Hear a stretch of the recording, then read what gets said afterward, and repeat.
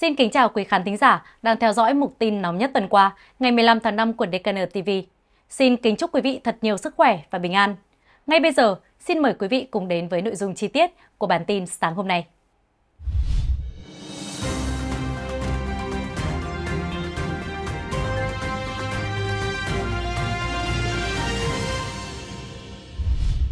Tuần vừa qua, chiến sự Nga-Ukraine tiếp tục là tâm điểm đáng chú ý toàn cầu.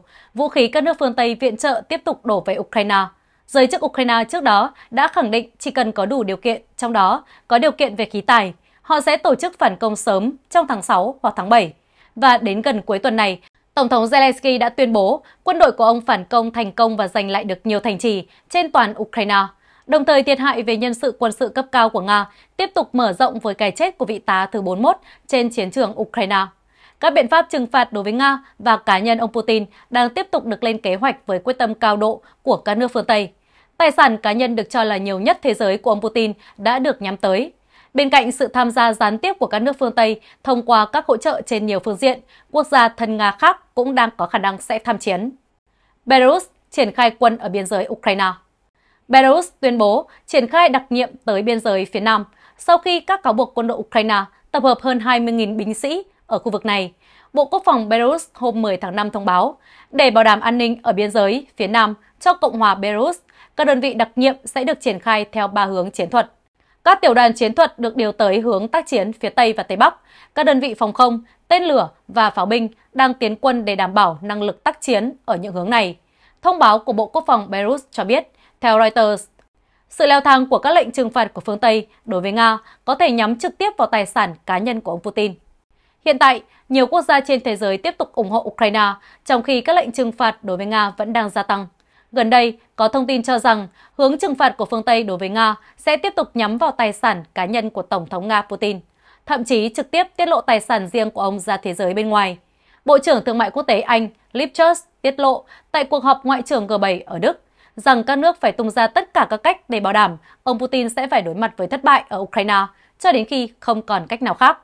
The Times đưa tin, bà cũng cho biết các biện pháp trừng phạt chống lại Nga nên tiếp tục cho đến khi quân đội nước này được rút hoàn toàn khỏi Ukraine. Cho đến nay, Vương quốc Anh đã trừng phạt hơn 1.000 cá nhân và 100 tổ chức có liên quan đến chế độ Putin, bao gồm cả các nhà tài phiệt có trị giá tổng cộng 117 tỷ bảng Anh.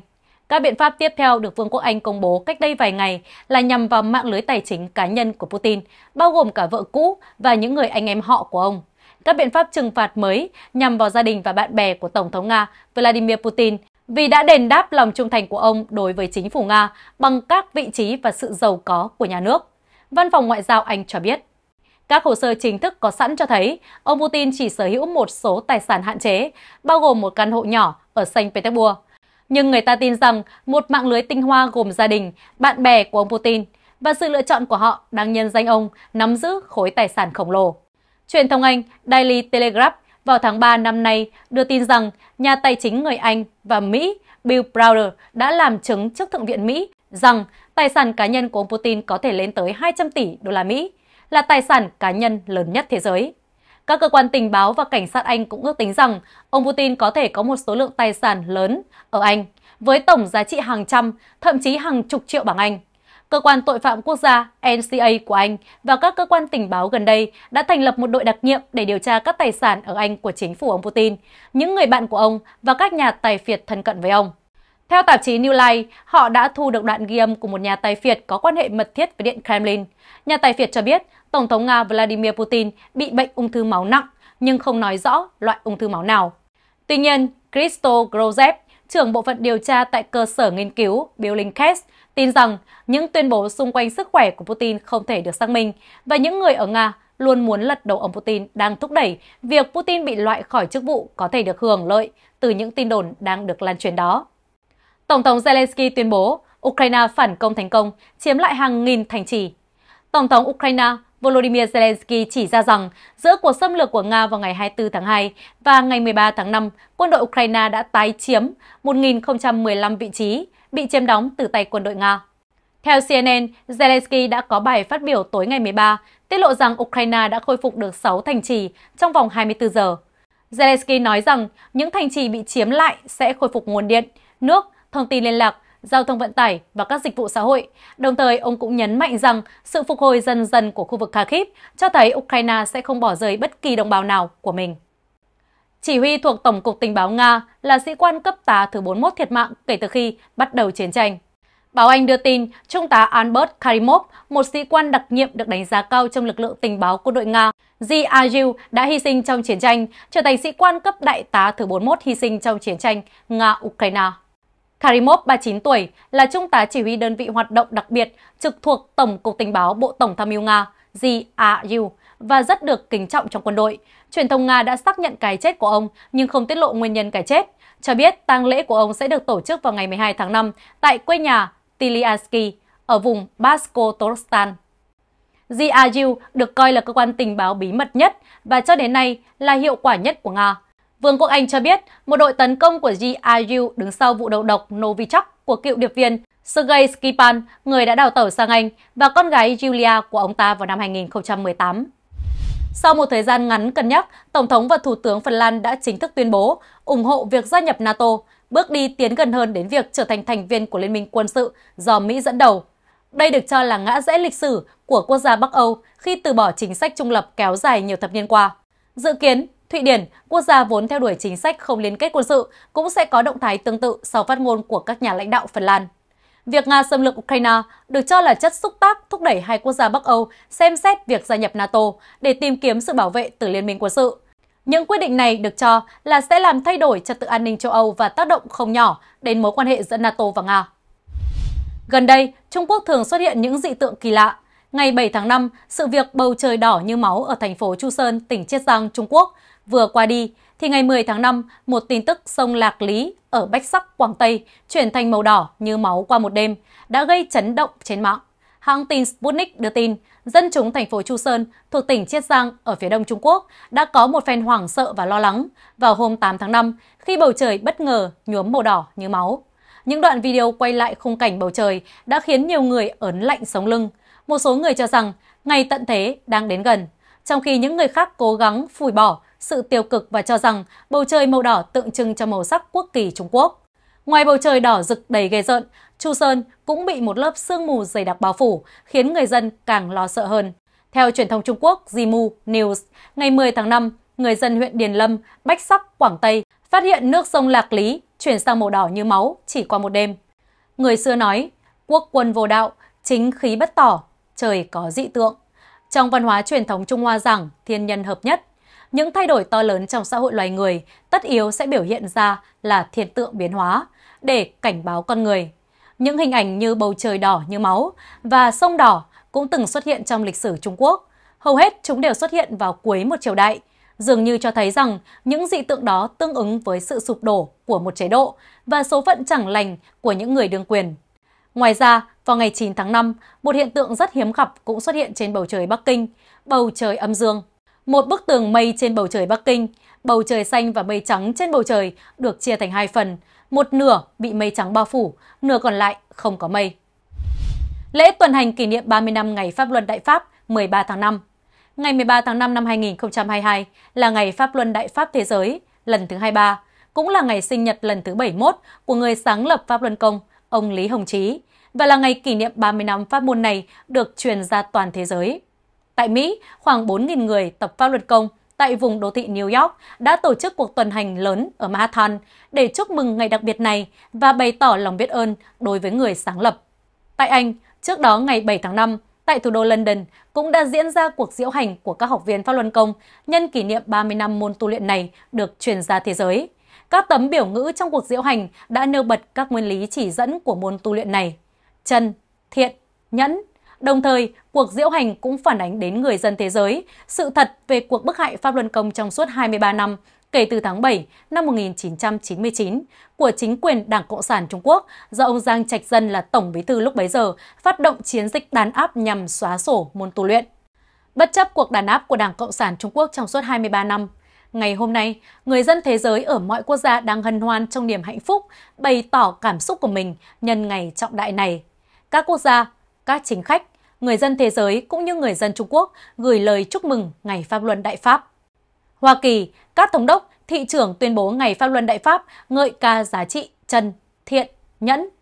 hơn 100 quan chức Canada gửi lời chúc mừng nhân kỷ niệm 30 năm ngày Pháp luân Đại Pháp. Tổng thống Hoa Kỳ Joe Biden đã chào mừng các nhà lãnh đạo ASEAN vào ngày 12 tháng 5 và cho biết vào bữa tiệc buổi tối rằng chúng tôi đang khởi động một kỷ nguyên mới của quan hệ Hoa Kỳ-ASEAN. Hội nghị cấp cao bất thường ASEAN kéo dài 2 ngày đã khai mạc cùng ngày. Đây là lần đầu tiên ASEAN tổ chức hội nghị cấp cao tại Washington trong 45 năm qua. Thách thức của Đảng Cộng sản Trung Quốc đã trở thành một chủ đề quan trọng của hội nghị thượng đỉnh. Đông Nam Á là ưu tiên của Hoa Kỳ. Phó Tổng thống Hoa Kỳ Kamala Harris nói với các nhà lãnh đạo ASEAN vào ngày 13 tháng 5 rằng Đông Nam Á là ưu tiên của Hoa Kỳ. Bà nói, Hoa Kỳ và ASEAN chia sẻ tầm nhìn chung về khu vực và chúng ta sẽ cùng nhau đối đầu với các mối đe dọa đối với các quy tắc và chuẩn mực quốc tế. Các nhà lãnh đạo ASEAN tập trung vào các vấn đề an ninh hàng hải và y tế tại phiên khai mạc của cuộc họp Hội đồng Nhà nước ngày hôm đó. Bà Harris nhấn mạnh rằng Hoa Kỳ nên giúp các nước ASEAN bảo vệ quyền tự do trên biển. Bà nói, chúng tôi sát cánh với các đồng minh và các đối tác của mình trong việc bảo vệ một trật tự dựa trên các quy tắc về biển, bao gồm quyền tự do hàng hải và luật pháp quốc tế. Theo phân tích, mặc dù bà Harris không trực tiếp nêu đích danh Đảng Cộng sản Trung Quốc, nhưng Washington luôn chỉ trích Đảng Cộng sản Trung Quốc sử dụng các biện pháp cưỡng chế để đe dọa các nước láng giềng và thách thức quyền tự do của các vùng biển trong khu vực Ấn Độ Dương, Thái Bình Dương. Tòa Bạch Ốc đầu tư 150 triệu USD viện trợ cho ASEAN. Tại lễ khai mạc cuộc họp ngày 12, Tổng thống Biden hứa rằng Hoa Kỳ sẽ cung cấp 150 triệu đô la tài trợ cho các nước ASEAN, bao gồm 40 triệu đô la cho cơ sở hạ tầng năng lượng sạch, 60 triệu đô la cho một sáng kiến hàng hải mới trong khu vực và 6 triệu đô la để tăng tốc phát triển kỹ thuật số ở Đông Nam Á. Một quan chức cấp cao của chính quyền Hoa Kỳ nói với Reuters rằng Hoa Kỳ cần xây dựng sức mạnh của mình ở Đông Nam Á. Ông nói, mặc dù chúng tôi không yêu cầu các quốc gia ASEAN lựa chọn giữa Hoa Kỳ và Trung Quốc, nhưng chúng tôi muốn làm rõ rằng Hoa Kỳ đang tìm kiếm một mối quan hệ bền chặt hơn. AFP đưa tin rằng ông Biden cố tình tiếp đón các nhà lãnh đạo ASEAN tại Tòa Bạch Ốc lần này nhằm thể hiện sự cam kết của Hoa Kỳ đối với khu vực dưới sự thèm muốn ngày càng tăng của Đảng Cộng sản Trung Quốc thông qua các dự án hợp tác cụ thể và các sáng kiến thương mại được xem xét lại. Trước khi Nga xâm lược Ukraine, ông Biden đã xác định rằng ưu tiên hàng đầu của Mỹ trên trường quốc tế là cạnh tranh đối đầu với Bắc Kinh. Dạn nứt ở các nước ASEAN trước sự cạnh tranh giữa Mỹ và Trung Quốc. Khi hội nghị cấp cao ASEAN được tổ chức tại Washington, VOA đã phân loại mức độ thân Mỹ hoặc thân Trung Quốc giữa các nước ASEAN và kết luận rằng các nước khu vực đã bị chia rẽ do sự cạnh tranh giữa Hoa Kỳ và Trung Quốc. Báo cáo phân tích rằng Tổng thống mới đắc cử của Philippines Ferdinand Marcos Jr. có thể thân Trung Quốc, trong khi người dân Philippines thân Mỹ hơn. Vì vậy, đối với Marcos, thách thức lớn nhất là tìm kiếm sự cân bằng giữa Mỹ và Trung Quốc. Theo báo cáo, mối quan hệ của Singapore với Hoa Kỳ là mạnh mẽ và sâu sắc và là quốc gia duy nhất trong số 10 nước ASEAN đứng cùng Hoa Kỳ và Liên minh châu Âu trong việc lên án việc Nga xâm lược Ukraine và trừng phạt Nga. Tuy nhiên, mặc dù Singapore cố gắng không đứng về phía Hoa Kỳ và Trung Quốc và muốn duy trì quan hệ hữu nghị với cả hai nước, một số nhà quan sát đã chỉ ra rằng khi sự cạnh tranh giữa Hoa Kỳ và Trung Quốc ngày càng sâu sắc, Singapore hiện đang tiến gần hơn với Hoa Kỳ. Báo cáo cũng phân tích rằng, với tư cách là nền kinh tế lớn nhất ASEAN, Indonesia được ví như con cá lớn trong ao nhỏ ở vị trí trung lập giữa các nước ASEAN, vì theo quan điểm của Indonesia, cả Hoa Kỳ và Trung Quốc đều là mối đe dọa. Indonesia đang phải đối mặt với áp lực từ Hoa Kỳ về vấn đề Nga. Đồng thời, Indonesia cũng coi Đảng Cộng sản Trung Quốc là một mối đe dọa khi Đảng Cộng sản Trung Quốc ngày càng hiếu chiến. Do đó, Indonesia hiện hy vọng rằng Hoa Kỳ sẽ tham gia tích cực hơn vào khu vực Ấn Độ Dương, Thái Bình Dương để giảm bớt mối đe dọa từ Trung Quốc. Việt Nam xuất khẩu gạo cán mốc 1 tỷ USD, dự báo sẽ còn nhiều đột phá. Theo đánh giá của Bộ Nông nghiệp và Phát triển Nông thôn, tuy giảm về giá trị, nhưng giá gạo của Việt Nam vẫn duy trì ở mức cao hơn so với các nước khác. Chẳng hạn, gạo tiêu chuẩn 5% tấm của Thái Lan trong tháng 4 ở mức 410 đến 412 USD trên 1 tấn. Gạo 5% tấm của Ấn Độ ở mức 361 đến 365 USD trên 1 tấn, giảm 10 USD trên 1 tấn so với tháng trước. Trong khi đó, gạo 5% tấm xuất khẩu của Việt Nam sau khi tăng lên mức 425 USD trên 1 tấn ở giữa tháng 4 thì sang đầu tháng 5 năm 2022 đã giảm trở lại mức 415 USD trên 1 tấn, tương đương mức trung bình tháng 3. Vì sao Việt Nam nhập khẩu gạo? Mặc dù là nước xuất khẩu gạo top đầu thế giới, nhưng năm 2021, Việt Nam nhập khẩu lượng lớn gạo từ Ấn Độ. Theo số liệu của Bộ Thương mại và Công nghiệp Ấn Độ, chỉ trong 3 tháng đầu năm 2021, xuất khẩu gạo của Ấn Độ sang Việt Nam đã đạt gần 247.000 tấn, trị giá 74,8 triệu USD. Việc xuất nhập khẩu gạo trong giao thương quốc tế là việc hết sức bình thường. Ông Hoàng Trọng Thủy phân tích, năm 2020, gạo Việt Nam đã đạt kết quả tốt trong xuất khẩu. Đáng chú ý, nhờ chuyển dịch hiệu quả cơ cấu gạo sang các sản phẩm chất lượng cao nên giá gạo đã được cải thiện và tăng khá cao, có thời điểm lên đến 505 USD trên một tấn, vượt gạo Thái Lan, đưa giá gạo Việt Nam lên ngôi đầu thế giới. Trong khi đó, nhu cầu trong nước với các sản phẩm gạo thấp cấp hơn để làm nguyên liệu sản xuất các sản phẩm chế biến như bún, phở, thức ăn chăn nuôi vẫn tương đối nhiều.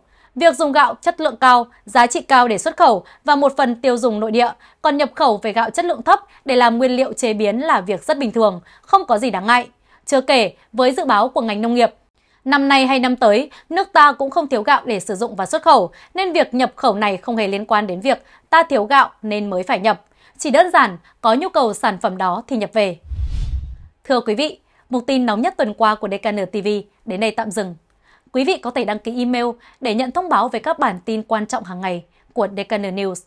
Quý vị cũng có thể theo dõi kênh DKN News trên Xếp Chat, một mạng xã hội bảo mật và tôn trọng người dùng. Cảm ơn quý vị và các bạn đã quan tâm theo dõi chương trình. Hẹn gặp lại quý vị và các bạn trong các bản tin tiếp theo.